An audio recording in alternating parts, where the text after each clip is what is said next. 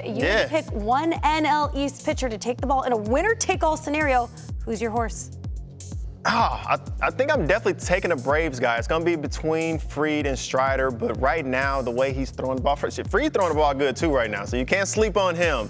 But I'm going. I love a dominant strikeout guy. Spencer Strider reminds me of a, a young Roy Oswalt. I think I'm taking him in a big game right now. Spencer Strider all day long. It's that fastball, that wipeout slider. He's just a competitor on the mound. Short guy, but a lot of power, power arm. I, I love his game, so I'm, I'm taking Strider right now. Small but mighty. Yeah. Speaking of strikeouts, I love the Phillies starter, Zack Wheeler. I would take mm. Wheeler because he could go seven innings.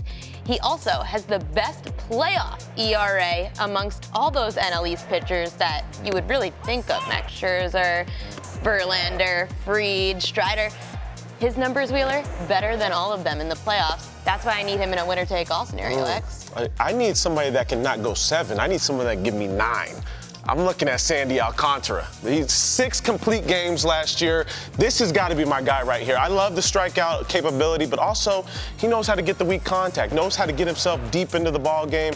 And another thing too is he's got to face all those other teams, and he makes those batters look like just they don't know what they're looking at up Shreds there. them. He does an amazing job. So I got to go with Sandy Alcantara in this whole thing right here. Great choices. Those are cute, but Sandy Alcantara is my guy. I mean, we, didn't, we weren't looking for your approval, but it, it, I don't think this was an ex TikTok list. but it is kind of odd that you know nobody said Verlander or Scherzer though. Uh, Like, well, excuse me very much. On, no oh. one has asked your girl over here sitting What in the got? host Well, seat. well, You got LG. Thank you. LG. Yes, I and did. a big game winner take all, LG. I Who want the take? heat, I want the fire, I want the passion, and nobody embodies all of those characteristics as much as this guy, Max Scherzer. How about him? 2019, I also remember being there in San Francisco, game five. We don't have footage Light of flex, this. light and flex. I- I was covering the game for MLB Network, and not a big Another deal. flex.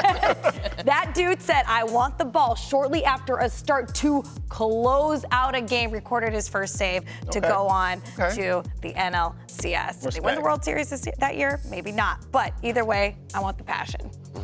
I mean, you can't go wrong with It- some of those those. are You can't go wrong with them, but I just want both teams to have I mean, you Like, can all go wrong because only one's great. gonna win. yeah. If they're facing each other, two on two. I mean, we're talking about an NL, AL, NLCS. I'm saying Strider's getting that win, baby. Strider versus Well, Scherzer. we saw Strider in the playoffs last year, and it wasn't good. We saw Scherzer as well. Oh, wait, excuse me, Ariel. We also saw Wheeler. We did see Wheeler in the playoffs. Still pitched better than all of them. Unfortunately, we didn't see Sandy Alcantara. No. But Yeah, I was 2020. say. But he was too busy 2020. collecting his Cy Young. yeah, I wonder what would happen now because Sandy Alcantara was still a young name in 2020 when he made his playoff appearance. What would he look like today in the playoffs? Maybe we'll see it this year.